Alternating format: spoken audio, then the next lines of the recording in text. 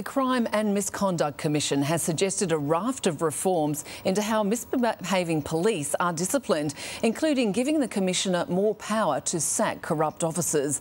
But civil libertarians say the recommendations don't go far enough.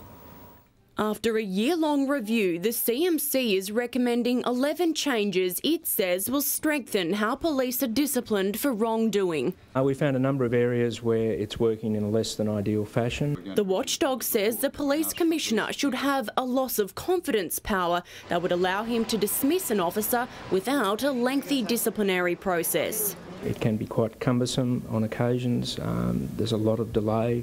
There is inconsistency uh, in sanctions imposed for conduct across regions. The report, prompted by cases including how police investigated the Palm Island death in custody, also suggests the power to suspend disciplinary sanctions against officers be removed and the QPS elevate complaints to core business. Civil libertarians say the recommendations don't go far enough.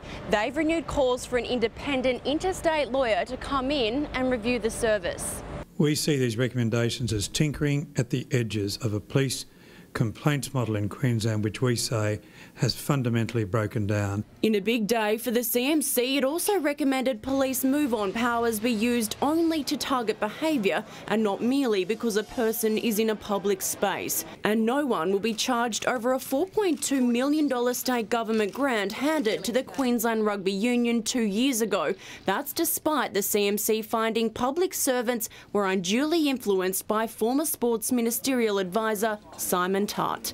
Renee Henry, 10 News.